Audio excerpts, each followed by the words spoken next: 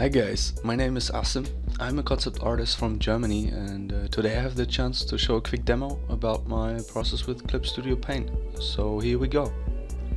Mainly Clip Studio Paint was meant to be a software for manga and comic artists but you can also use it as a concept artist, um, especially if you have to do line drawings and illustrations.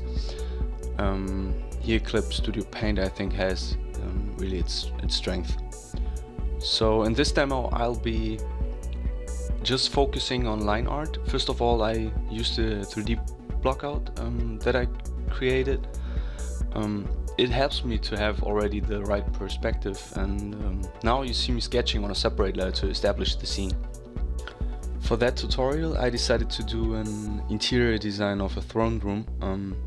Therefore I had already some ideas in my mind and a backstory. For instance, um, this could be a concept of a level design in a RPG game. So you're a servant of the king, and um, the king itself serves as an NPC character, for instance. Um, so here you're getting your quests and also your resources and gold. When it comes to such a room of a character, um, I'm thinking about the personality of the king. Um, how is he? What are his characteristics? And I'm trying to adapt that to my design of the environment. So I thought my king is not a humble guy, he's more kind of a materialistic person and has pride. He wants to show his status and what he's possessing and I want the player to see that in the architecture. The architecture should show his dignity, um, wealth and rank. So we want to make the room huge for the player with a lot of empty space the throne room is supposed to be long, which can also symbolize uh, the distance to the king, that he's a kind of unreachable or untouchable um, in his rank. And uh, the throne itself should be also on a higher level. Um, that's pretty important to show that and to evoke a kind of feeling for that environment, for the room. In my case, for that design, I found a lot of inspiration from a trip to Spain, and uh, which I did a couple of years ago. Uh, if you've never, if you have never been to Andalusia in Spain, you should really go there. It's so amazing, and you can learn a lot about the history of Islam in Spain and about the Renaissance in Europe in general.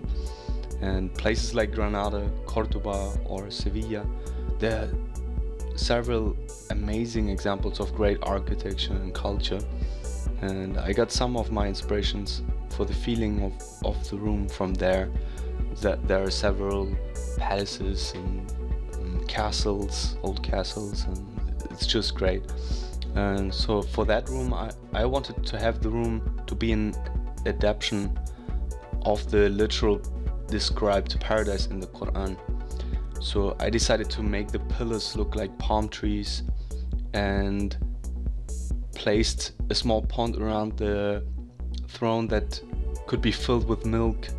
Um, maybe you also have lamps, lamps that are spreading the smell of myrrh in the room.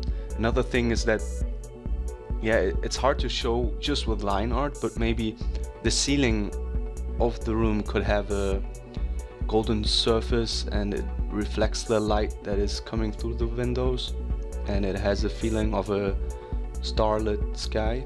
Um, yeah, the, the whole scene should impress the visitor. Yeah, here you see me just fig figuring out what else I could do. Um, I've tried out to put some cloths um, between the pillars, but I didn't like it. Um, so I just continued uh, with my drawing process and yeah, I was just trying to get uh, the overall vision done and Clip Studio Paint is quite easy to handle. Um, the basic tools are mostly on the same shortcuts like in uh, Photoshop and here you see me um, adjusting the pen pressure and I think that's a really cool feature because um, depending on on the artist everybody has its own pressure on the pen and uh, I, I, think it's really good to adjust that. Um, you, you can find that in the preferences. Yeah, and uh, in my case, I'm working on a Intuos 3. And yes, I'm a classic man.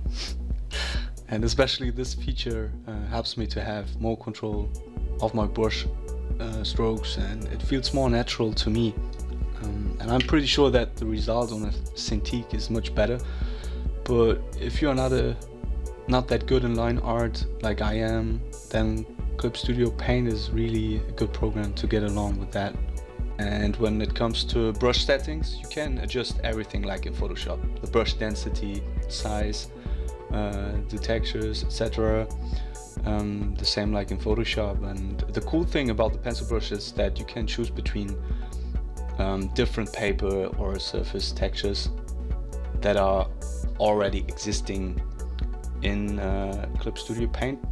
Um, you can choose between yeah textures like canvas, cotton, marble, sand, wood, and the same with the with the other brushes like chalk, pastel, um, oil brushes, watercolor, and so on. And yeah, all these brushes are feeling pretty pretty natural to me. Uh, I like that. And but what I like the, the most are the pens for doing clean line art and sketching such as the G pen or the mapping pen you can see me using these later in the process when I when I start to clean up the drawing and yeah furthermore you have nice marker pens. Those are like the Copic markers or the ink pens are like these manga um, brush pens. And yeah. Unfortunately I couldn't show everything in my in my tutorial but I'm gonna show you the main features um, that I like and which yeah I think are the most um, pow powerful features in the software. Another idea that I had in my mind was that the king has paranoia uh, that he's afraid to get killed by his opponents and could lose his hegemony so he has always his private guard next to him and there's also an escape door in case of need. I also added crests on the walls and frescoes which are typical in the architecture in Andalusia and uh, Morocco. For the ceiling of the dome I tried out some yeah star ornaments and yeah just trying out what works and what not and you should also place some decoration assets which are not fulfilling any specific purpose such as vessels, um, um, jars or jars even when the throne room is supposed to be more empty. It just helps to make the room more believable and visually um, yeah, makes it visually more interesting than having nothing in there. In terms of assets which are fulfilling any purpose, we can place chests for the player. One can be a small one next to the king where you can get your loot after finishing a quest and the other one could be used as a storage for example uh, the scroll on the desk could be picked up by the player for new quests uh, it's totally up to you maybe also some bags filled with provisions for a journey which are provided by the king. Um, the other thing, yeah, the characters. Um, the characters are just placeholders and serving for the sense of scale.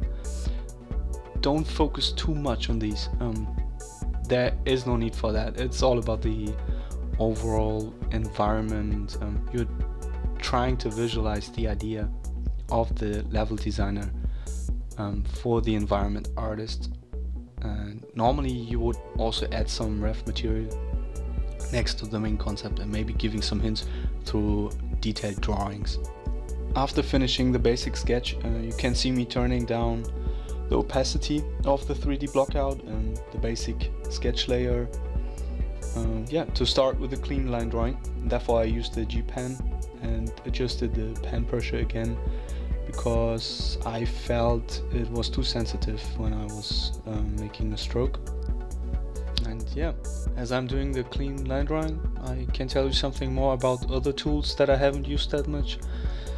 It's, for example, the decoration subtool where you have different effect brushes which are great for comic artists uh, such as sparkle, cross hatchings, um, grass foliage, flames, rocks, stones, I don't know, um, nearly everything and everything um, you could need maybe for a comic drawing. And also you can create your own ones and save these.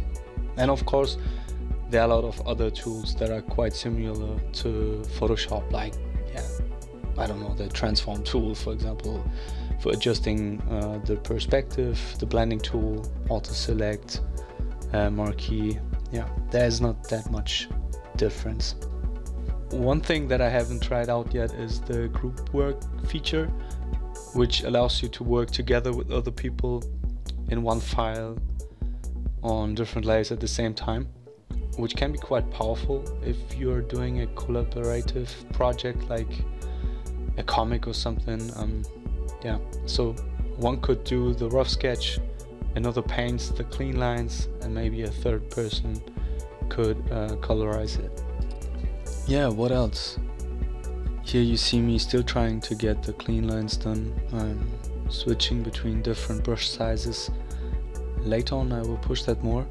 Um, when you want to emphasize some of the assets, I recommend to give those assets which are having more importance to others or are which are in the focal point, you should give them a thicker line. So this will make them pop out more uh, especially when you're not working with uh, yeah in grayscale or uh, working with color you have to you have to make the lines thicker in the area of interest.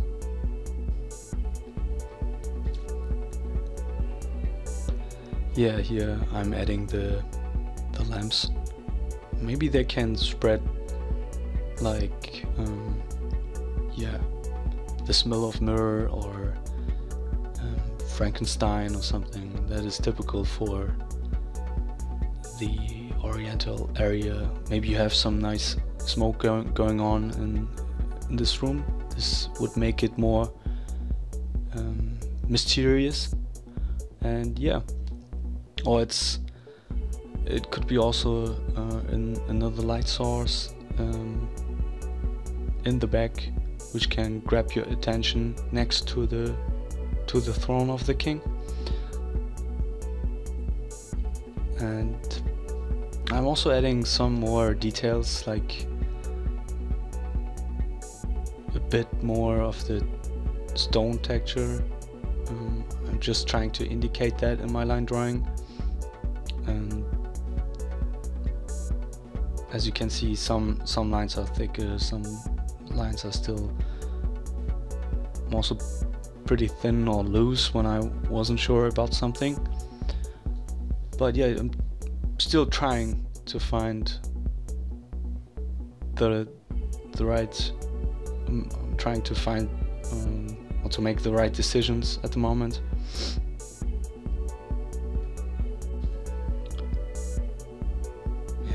here as I said already um, I'm just trying to, to add some details on the characters. Don't waste too much time on that. It's just about the overall feeling and um, just to indicate maybe the the visual theme or maybe the the cultural background or the setting where where all this um, takes place. Like the helmets they look more like Mongolian or Oriental in in their designs. And yeah that's that's fairly enough. Something I was thinking about that um, I want to lead the eye of the viewer or the visitor when he's entering the room um, that everything leads to to the throne. And you can do that with light sources like these fireplaces which I placed along this way to the throne.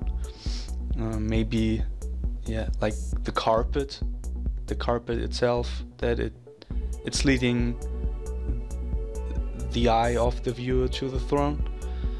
And also yeah the lighting behind the throne.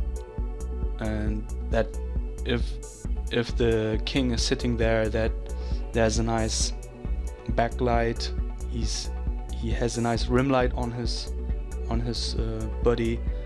So this was would also emphasize the character.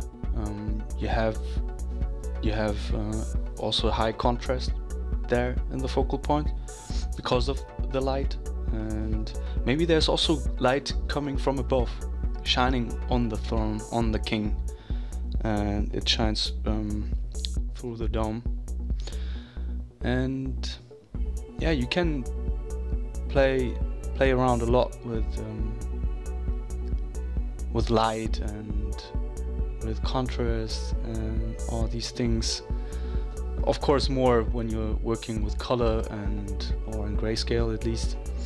But uh, yeah with line art is it's just about the lines mostly and you're trying to lead the eye of the viewer through all the perspective lines and um, yeah the shapes itself.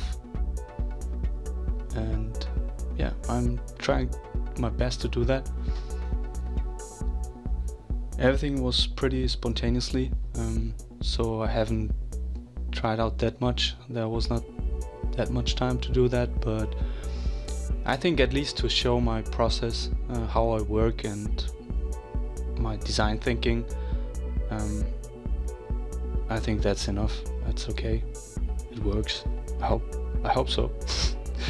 Yeah and you see me always uh, also adjusting sometimes the opacity of the 3D blockout layer because yeah some some lines were still too loose and I had to readjust some lines and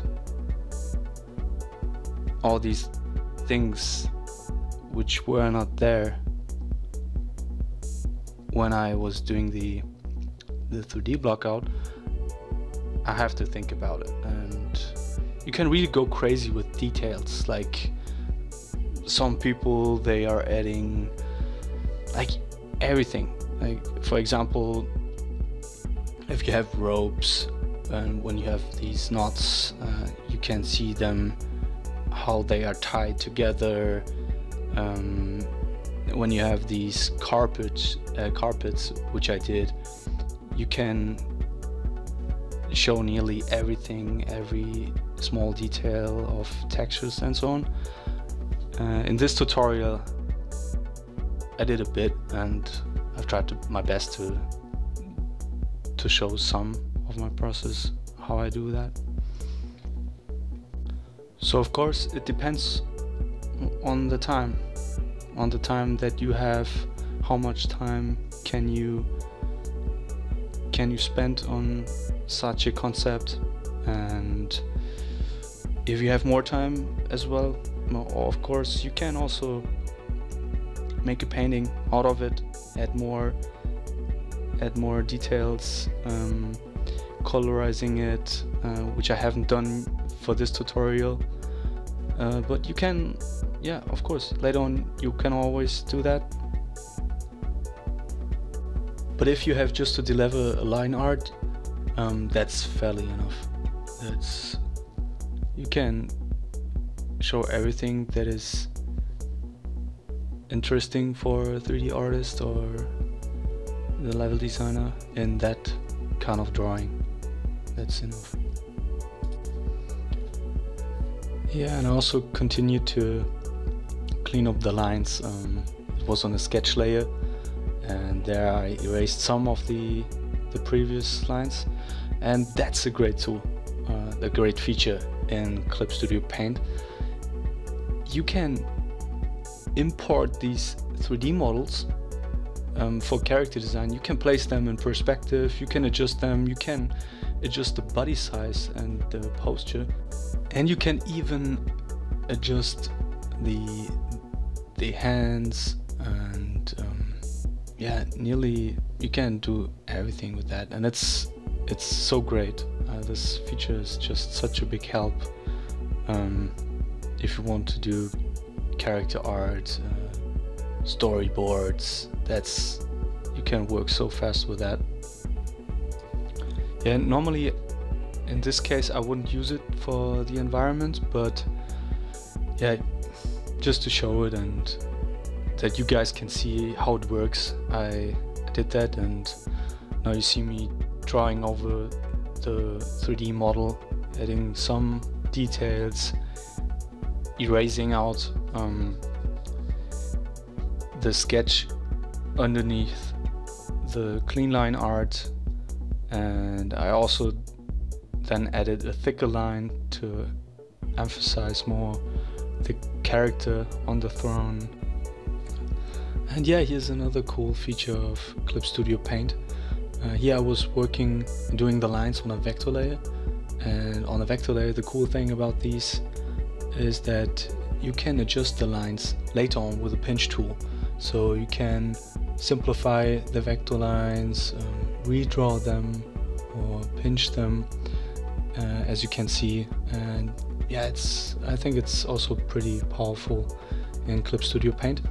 And I used it here um, for the Royal coat of arms which I placed on the banners in the throne room and yeah the cool thing as well for vector layers is that you can scale them up endlessly without having any lack of quality and that's of course much better compared to the normal pixel layer especially if you are a comic artist and you have to use your drawings um, for print and then it's of course very useful.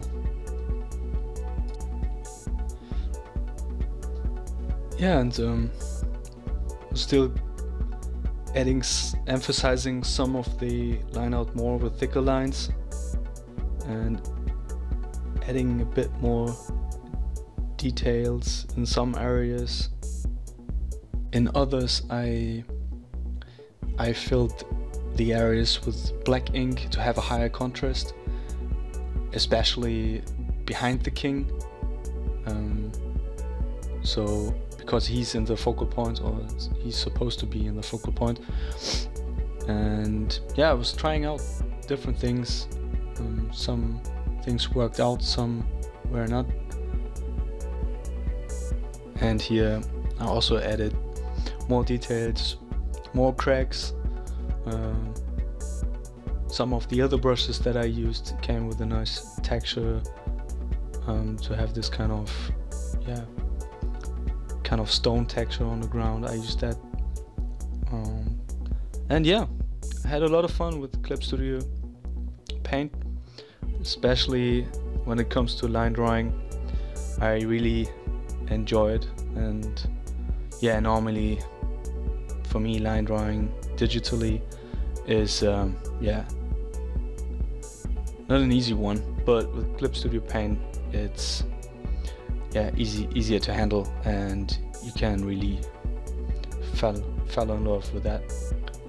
And I think especially as a character or storyboard artist you would have a lot of fun with that. I just used the 3D doll tool once before and that was just for costume designs and it really helped me. But imagine if you have to paint a lot of different scenes with many characters in it or characters in different perspectives and there are already a lot of different pose templates you can choose from. And yeah this could really be a time saver. And what also can be quite useful is the material library with different framing templates for comic artists um, or different comic signs, effect lines, etc. There's there a lot, there's a lot of stuff you can choose from in, in the library. And yeah, what else?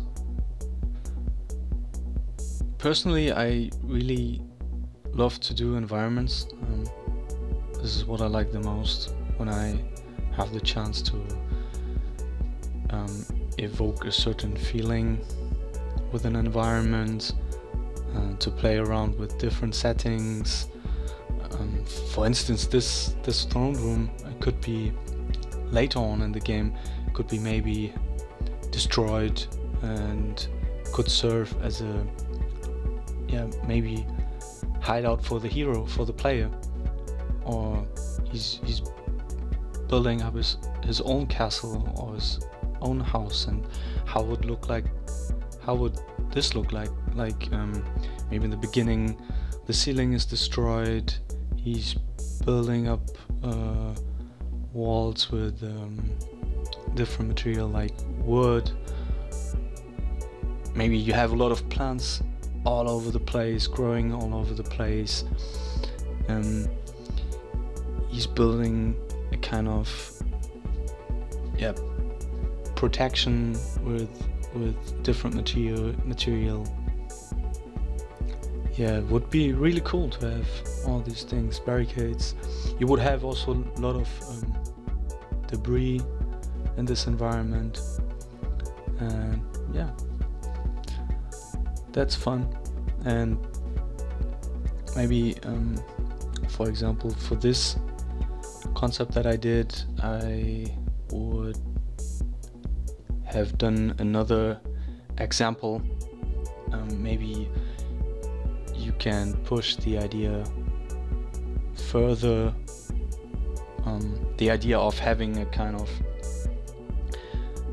yeah the architecture that it's inspired by by paradise maybe the the milk could really flow along flow along the the the carpet um, to the to the door to the outside. Maybe there's a fountain or yeah a fountain next next to the throne.